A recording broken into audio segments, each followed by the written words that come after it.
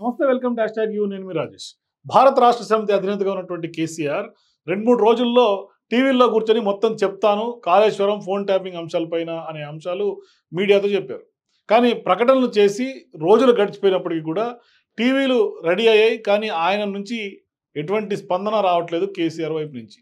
చివరికి కుమార్తె అరెస్ట్ గురించి కూడా ఒక్క మాట కూడా ఇప్పటివరకు కూడా కేసీఆర్ మాట్లాడకపోవటం మౌనం వహిస్తుండటం కవితను ఈడీ జైలుకు పంపి నెల రోజులైంది ఈలోపు సిబిఐ కూడా అరెస్ట్ చూపించింది. అయినా ఎన్నికల బహిరంగ సభల్లో కేసీఆర్ రేవంత్ రెడ్డిని వ్యక్తిగతంగా టార్గెట్ చేసుకుంటున్నారు. కానీ రాజకీయ వ్యాఖ్యలే ఇవాళ చేస్తున్నటువంటి ఆయన బీజేపీలో చేరబోతున్నారని కూడా జోస్యం చెప్తున్నారు. కానీ Kaleshwaram phone tapping Kavitha arrest పైన ఎందుకు మాట్లాడడం లేదు ఎందుకు మౌనం వహిస్తున్నారనే చర్చ ప్రజల్లో బలంగా వినిపిస్తోంది. కాళేశ్వరం ప్రాజెక్టు గురించి తప్పుడు ప్రచారం చేస్తున్నారని టీవీల్లో కూర్చొని అన్ని విషయాలు కూడా తానే చెప్తానని కూడా కేసీఆర్ నల్గొండలో ప్రకటించారు. ఇది ప్రకటించి దాదాపుగా నెల రోజులుగా వస్తుంది. కానీ ఆ మాట కేసీఆర్ మర్చిపోయినట్టుకున్నారు. ఇప్పటిదాకా ఫోన్ ట్యాపింగ్ గురించి కానీ ఆ అంశాల గురించి కానీ ఎక్కడ కూడా తను రెండు రోజుల్లో చెప్తానన్నారు కానీ ఇవాళ ఇన్ని రోజులైనా కూడా చెప్పలేదు మర్చిపోయారు అనేది కూడా ఇవాళ చర్చించుకుంటున్నటువంటి పరిస్థితి. అటు కాళేశ్వరం గురించి కానీ ఇటు ఫోన్ ట్యాపింగ్ గురించి కానీ ఆయన మాట్లాడతారా లేదా అన్న దానిపైన ఇప్పటిదాకా స్పష్టత లేదు. కేసీఆర్ మాట్లాడితే మొదటి అక్షరం నుంచి చివరక్షరం వరకు కూడా చూపించడానికి టీవీలన్నీ కూడా తయారుగా ఉన్నాయి. కానీ వీటినే కాదు కేసీఆర్ ఇంకా అనేక కీలక విషయాలపైన కూడా ఇవాళ స్పందించడం లేదు. కానీ కేసీఆర్ స్పందన కరువైందని చెప్పాలి. సో కూతురు కవిత అరెస్ట్ పైన కూడా ఇంతవరకు ఎక్కడ కూడా ఒక మాట మాట్లాడలేదు నోరు మెదపలేదు కేసీఆర్. కవిత అరెస్ట్ అయ్యి సోమవారానికి ఖచ్చితంగా నెల రోజులైంది. కానీ అరెస్ట్ అయిన దగ్గర నుండి ఇప్పటివరకు కవిత ఢిల్లీలో తిహార్ జైల్లో ఉన్నారు. తన కూతురు అరెస్టు అక్రమమని సక్రమమని కానీ ఏ వ్యాఖ్యలు కూడా ఇప్పటిదాకా కేసీఆర్ చేయలేదు. ఇంతవరకు మాట్లాడకపోవటమే చాలా మందిని కొంత ఆశ్చర్యానికి గురి చేస్తుంది కేసీఆర్ వ్యవహార శైలి పట్ల. ఒకప్పుడు కేంద్ర ప్రభుత్వానికి లేదా బీజేపీకి వ్యతిరేకంగా ఏ చిన్న అవకాశం దొరికిన ఒక ఆకాశమే హద్దుగా కేసీఆర్ రెచ్చిపోయారు.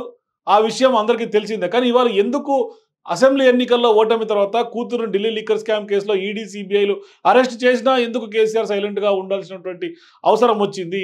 తెలంగాణ రాజకీయాలను కుదిపేస్తున్నటువంటి టెలిఫోన్ ట్యాపింగ్ అంశం అట్లాగే ఆ అంశం పైన విచారిస్తున్నటువంటి స్పెషల్ టాస్క్ ఫోర్స్ పోలీసులు ఇప్పటికే సుమారు పది మంది పోలీసు అధికారులను అరెస్ట్ చేశారు.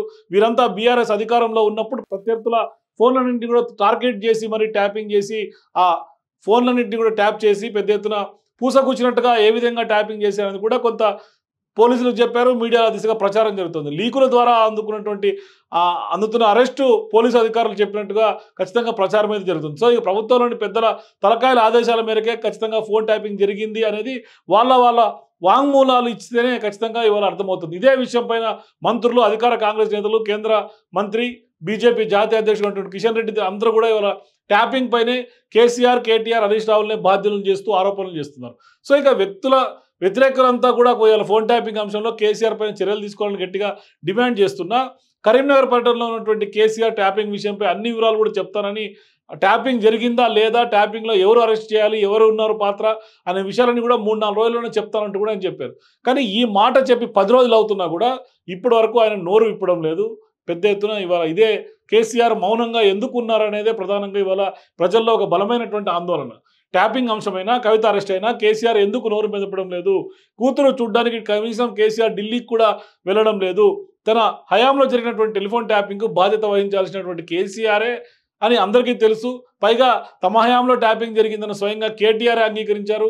ఇక కొడుకు ట్యాపింగ్ జరిగిందని అంగీకరించిన తర్వాత కూడా ట్యాపింగ్ జరగలేదని కేసీఆర్ అనేందుకు కూడా లేనటువంటి సందర్భం. సో ఇక ట్యాపింగ్తో తనకు సంబంధం లేదని తప్పించుకునేందుకు కూడా లేనటువంటి పరిస్థితులు ఇవాళ కేసీఆర్ ఉన్నాడు.